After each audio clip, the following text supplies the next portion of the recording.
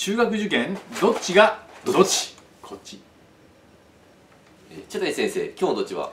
入試直前に夜更かしをしちゃいけないのどっちがどっち？えーうん。まあ、入試が近づいてきたら、はい。まあ、朝方に変えましょうっていうのをまたどっかの話でね、えー動画で喋ったかなとそうですね。思うんですけれども、はい。まあ、これはもうセオリーですよね、うん。そうですね。入試自体がもう朝早くからありますから、うん。えーまあ、夜早く寝て、うん。えー朝早く起きて、えーそのスケジュールに合わせましょうと。うん朝方にしようというのはもう基本だと思うんですけれども、はい。えーただまああの朝方って言ってもまあ、うん。いろんなあの度合いがあるというか、はい。睡眠時間がたくさん必要な子供もいれば、うん。意外と小学生なのに6時間ぐらいで OK だっていう子もいたりして、はい。まあ、その度合いっていうのは様々ですよね。そうですね。もうなんか夜の9時に出て朝5時に起きるとかって早すぎるやろという話とかもあるかもしれないし、まあ、それはいろいろだと思いますけど、うん。基本的にはやっぱり朝方に変えましょう。というのはもうセオリーなので、はい。えーそうした方がいいでしょうね。うんえーですから、まあ、あの今回はうん基本はそう早く寝ようとしましょうと、うん。えーそういう生活に変えた方がいいですよねっていう話なんですけれども、はい。えー直前期になってきて、うん。えーどうしてもこう心配で寝れないとか、うんうん。あと入試の前日に興奮して寝れないとかはいはい。言った時に、うん。あ夜更かしちゃいけないのに、うん。寝れないんだからどうしようっていうふうに思ったりすることあるかと思うんですけれども、はいはい。まあ、それにどう対処していきましょうかという話ですよね。はい。でまずはですね、うん。えーまあ、例えば入試前日の例で言ったら、まあ寝れないやってなったらどうしたらいいかっていうと、うん。うん基本はやっぱり布団の中に入るべきですね。で寝ようとしてくださいということです、はいはい。まあ、これは海外だったらうん。羊の数を数えるんですかね。はい。そう。これなんで羊の数を数えるか知ってます？なんでなんでしょうね。これはね、はい。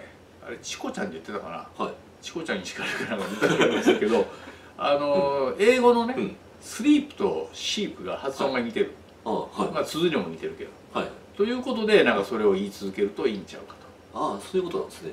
日本人には全く関係ない、なのに羊が1匹羊が2匹ってすごくややこしい発音がね。なるほど。そう。だからどうしたらいいのかね。もう普通に数数えたらいいでしょうかね。そうですね。まあ1234って。な麻酔かかってるみたいな感じ。で そう、まあ、麻酔でね邪魔にするようなこと言うわけないから普通に数数えるんでいいんじゃないですかね。そうですね。そう。無心になって数数えまくる。うん虫になって数えそうだから、うん。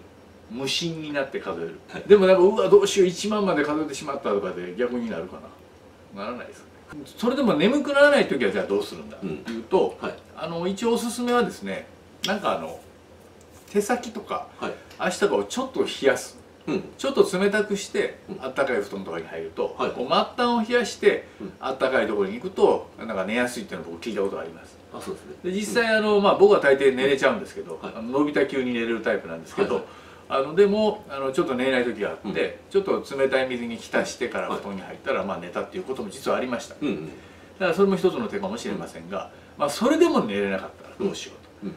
明日テストはどうしようって布団の中で思ってもう目が冴えちゃった、うんっていうと、うん。まあ、おすすめな解決方法はうん。勉強することですね、うん。えーもうすぐ起きて机に向かって勉強しましょう。はい。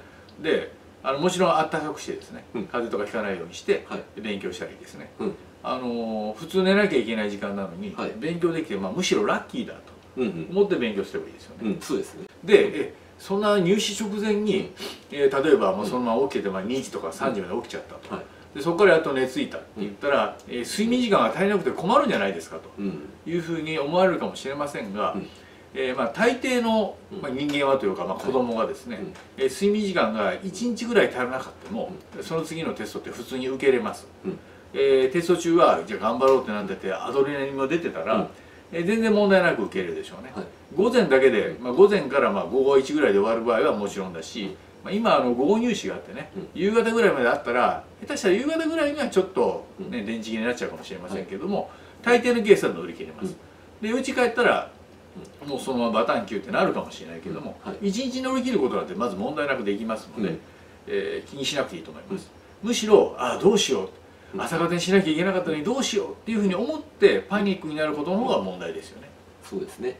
あの僕もあの模試を受ける時にあの全く寝ずに、まあ、寝られずにあの模試を受けたことありまして、その時があの成績が過去最高やったんですね。過去一そう過去一でしたんですね。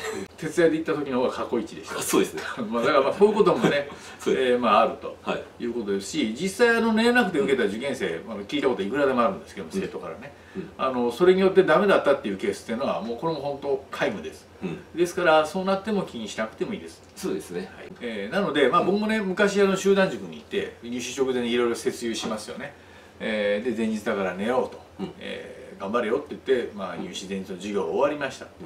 えーでもまあ注意で、えー寝れなかったらどうしたらいいのかっていうと、うさっきも言ったことですけど、えー寝れなかったら勉強たくさんできてラッキーだと思えよっていうのを言ってました、はい。えーですからベストだと言われてるねセオリーをまあいろいろ聞いてきたと思いますけども、うん。